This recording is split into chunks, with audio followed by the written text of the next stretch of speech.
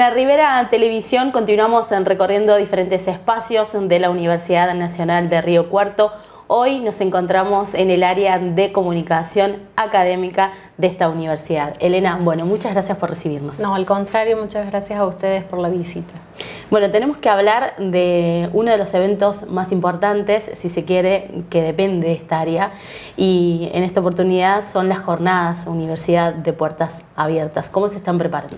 Bueno, como vos decís, esta actividad es una de las más importantes no solamente para el área de comunicación académica, que es la encargada de organizarlo desde hace ya 27 años, sino para la universidad toda. Eh, son dos días donde la universidad eh, se prepara en su conjunto, las cinco facultades, las áreas de servicios, eh, para recibir a quienes quizás sean sus estudiantes el, el año que viene. Así que bueno, ya desde hace un, tiempito que estamos trabajando, organizando y preparando eh, para recibir a, esperemos a muchos y muchas jóvenes eh, el 7 y 8 de septiembre próximo. Bien, además eh, es la vuelta ¿no? a la presidencialidad plena tras dos años de pandemia y que estas jornadas tuvieron que reinventarse y realizarse de manera digital. Bueno, mira, justo como vos decís, nosotros, yo te recién te mencionaba, son 27 años que contabilizamos de la organización y realización de la jornada de puertas abiertas. Y justo lo que hubiese sido la celebración de los 25 años de jornada de puertas abiertas eh, fue el 2020. Y fue un año sumamente particular, sabemos, eh, atravesados por la pandemia y el aislamiento social. Y bueno, y lo que iba a ser una fiesta para nosotros como universidad y como área eh, se transformó en un desafío de poder adaptarnos y de organizar eh, eh, por primera vez unas jornadas de puertas abiertas en línea, ¿no? bueno, después también ya más preparados en, durante el 2021 y bueno, y ahora de nuevo preparándonos y reorganizándonos para retornar a la presencialidad plena y poder volver al sentido que realmente tienen estas jornadas de puertas abiertas, que es el, el, del encuentro, el del diálogo, el de poder compartir y vivenciar un día en la universidad, un día como estudiantes universitarios y como hacemos siempre, ¿no?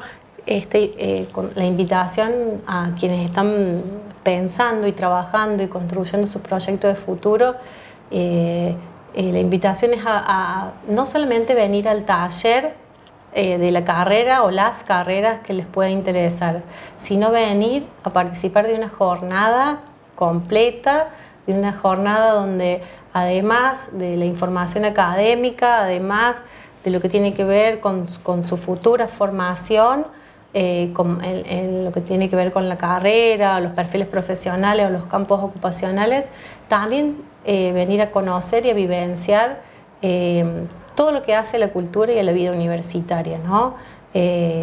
venir a la universidad es mucho más que venir a estudiar una carrera. la aspiración que como universidad pública pretendemos siempre es la de una formación integral, ¿no?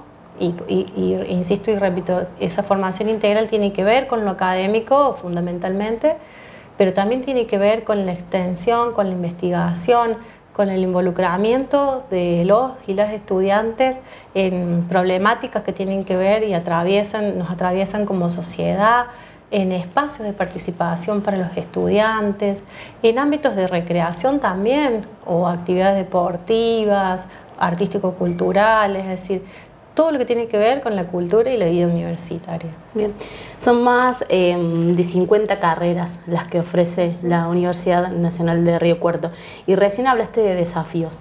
¿Cuáles son los desafíos que ustedes no tienen en lo cotidiano para poder comunicar em, a la comunidad em, toda la información referida a cada una de estas carreras?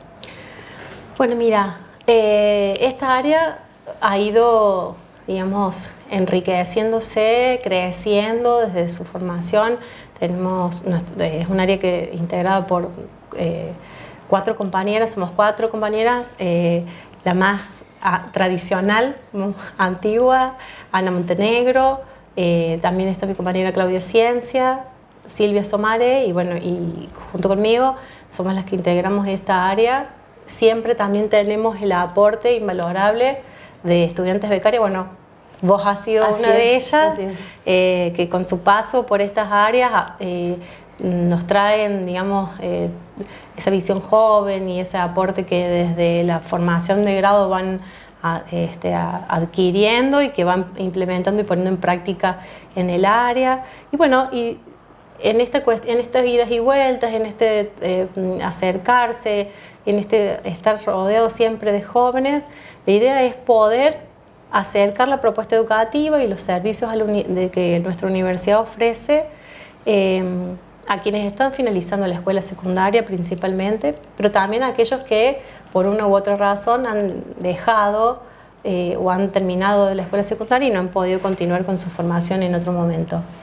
También eh, trabajamos mm, con los centros educativos para adultos en la modalidad SEDMA, perdón.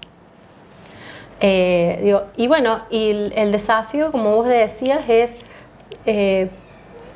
que ellos puedan conocer la, universidad. Es muy difícil elegir algo que uno no conoce, ¿no? Eh, ¿Cómo hacemos conocer? Tenemos eh, desde principio de años la estrategia es ir acercando, digamos, de manera paulatina o inicial alguna información como un primer contacto, un primer acercamiento, saber que existe, saber que está, Después, eh, que puedan venir a la universidad a participar de talleres y visitas guiadas, que mm, eh, puedan estar este, compartiendo en un aula, en un espacio que seguramente después van a habitar eh, cuando sean estudiantes de, nuestra universidad.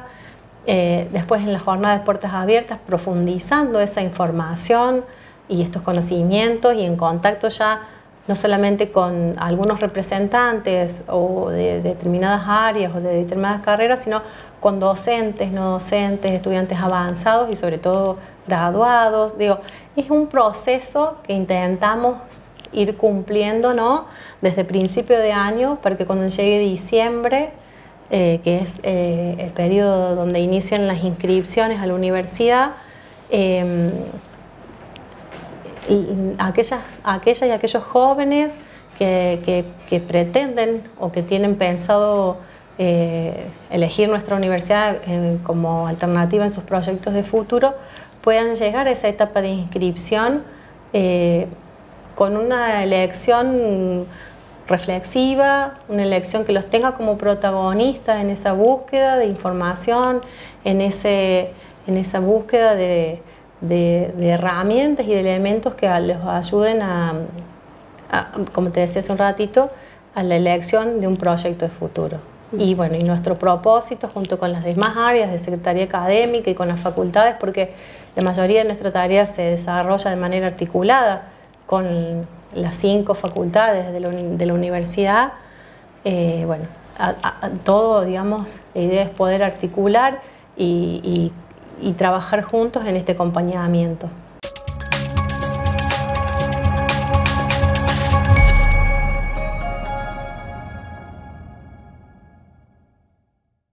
Y, en esto de articular y el trabajo conjunto em, va más allá de la ciudad de Río Cuarto, ¿no? Le contamos a la comunidad del vínculo permanente que tiene esta área con diferentes localidades de la región. Es cierto lo que vos decís, porque a nuestra universidad eh, vienen a estudiar no solamente eh, jóvenes de Río Cuarto, ¿no? Gran parte de la población estudiantil es oriunda de localidades vecinas, pero también de otras provincias, ¿sí? Eh, nosotros desde el área de comunicación académica intentamos llegar a la región a través de, también de algunas estrategias que llevamos adelante con la colaboración de las facultades. Solemos viajar a, la región, cada una de las localidades suele funcionar como sede a la que son convocadas localidades vecinas y allí llevamos la propuesta educativa eh, de la universidad. También eh, a través de la participación de eventos y de expos estudiantiles a las que somos invitados Y bueno, y también eh, a través de algunas otras actividades que organizan eh, municipios y, u otras, incluso otras instituciones educativas también de la, de la región. Eh, este año, como vos decías hace un ratito también, el retorno a la presencialidad ha significado como no, sé si es que uno lo, vive, o nosotros lo vivimos así, pero como una necesidad de mayor presencia ¿sí? Eh, en todos los ámbitos, en, la región y en los establecimientos educativos. Eh, hemos, la cantidad de talleres que hemos podido realizar aquí mismo en la universidad, la cantidad de estudiantes que hemos podido recibir desde mm, marzo hasta, hasta ahora, hasta agosto, que eh, nos ponemos como más firmes en la organización de la jornada de puertas abiertas, ha sido este, sumamente importante y, enriquecedora. Más de tres talleres por semana hemos estado llevando a cabo y bueno, y hemos podido visitar varias localidades también y siempre eh, sumamente bien recibidos y, y, sobre todo como muy esperados, ¿no?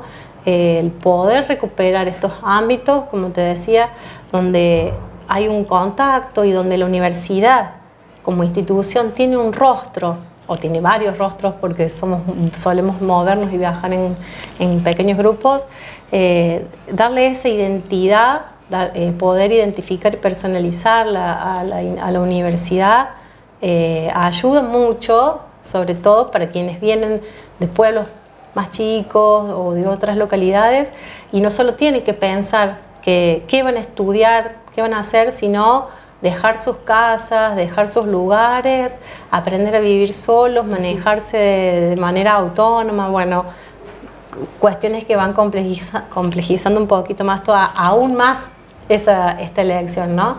Y bueno, y como esto de poder volver a la presencialidad, si bien la universidad nunca dejó de intentar de acompañar a, los y las jóvenes en, esta, en, este, en esta etapa de transición entre la secundaria y la universidad. Eh, no es lo mismo eh, este contacto mediado, la virtualidad, eh, que el poder compartir en un mismo espacio y poder dialogar mirándonos a los ojos. ¿no? Bien, bueno, por último, continúa abierto el periodo de inscripción. ¿Cómo pueden hacer los estudiantes eh, que deseen poder ser parte de estas jornadas de Universidad de Puertas Abiertas para, bueno, para inscribirse? Bueno, como vos decís, hasta el mismo día en el que se llevan a cabo las jornadas de Puertas Abiertas se pueden inscribir. Tienen que ingresar a nuestra página web, que es www.unrc.edu.ar, y ahí van a encontrar un banner ¿sí? donde dice JUPA y, la inscripción. Con un clic eh, van completando dos o tres datos muy básicos y fundamentales que nos ayudan a nosotros para la organización, se inscriben. La metodología planificada es que tanto el 7 como el 8 puedan anotarse en un taller por la mañana y en un taller por la tarde, si es que tienen dudas o interés de participar eh, y conocer más de una carrera de las que propone la universidad y lo mismo al otro día. ¿sí? Es decir, pueden participar de hasta cuatro talleres de acuerdo a las, a las carreras que puedan estar eh, queriendo conocer con un poquito más.